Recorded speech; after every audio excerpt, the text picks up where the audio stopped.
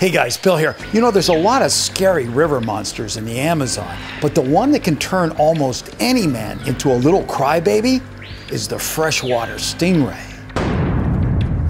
Freshwater stingrays come in a wide variety of shapes and sizes, but there's very little scientific classification on which one is which.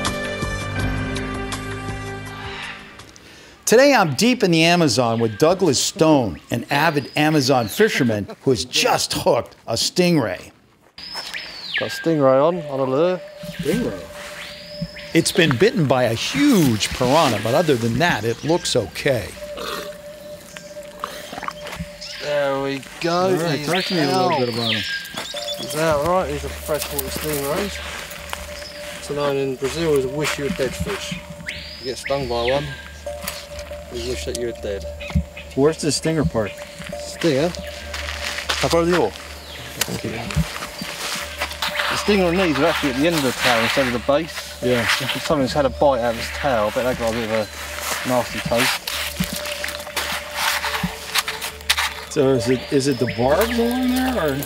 They've got loads of barbs. There's actually a knife at the end there, look, the actual barb, the actual Yeah. main blade. Yeah. And you've got these other bits.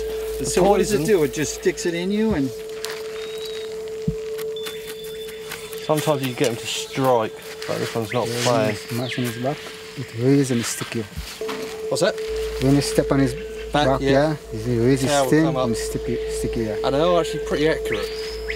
which part does he stick you with? The tail end? This, raise it, yeah, That bit. this is Oh. part of it.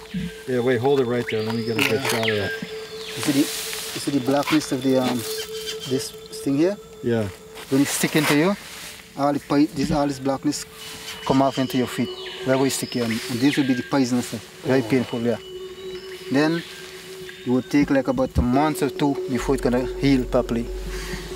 And it logically like when you stick you, you eat if you eat use pepper, Yeah. onion, and different seasoning, it logically take longer to heal. Oh, okay. Yeah, very poisonous. Very painful and Yeah, poisonous. and it's painful a lot. You ever been stung by one? Yeah, one time Yeah. you could see the mark here. Right. There's the mark. Oh yeah, you got a scar. Yeah, this is. If you want to get more information on just how painful and serious stingray injuries can be, I've left more information in the description box below. You gotta get in the water. Oh yeah.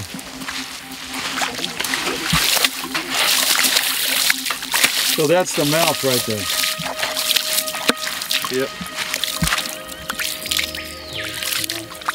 The teeth. Little teeth in there? No, they've got, um, the, well, I know it's freshwater ones. Yeah, it's got a couple little teeth in there. Oh yeah, look at that.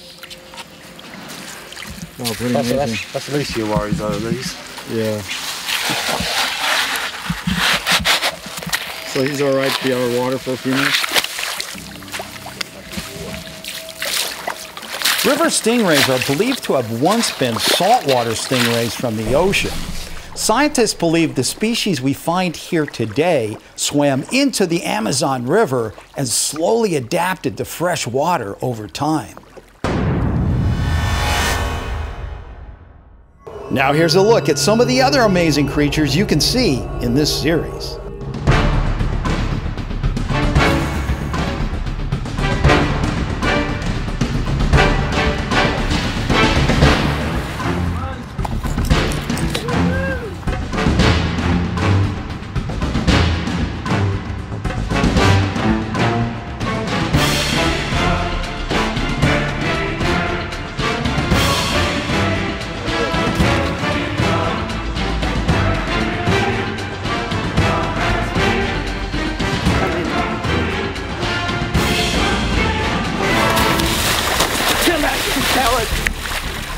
Yeah, sick and tired of him coming coming up the beach every time I'm trying to do my teeth.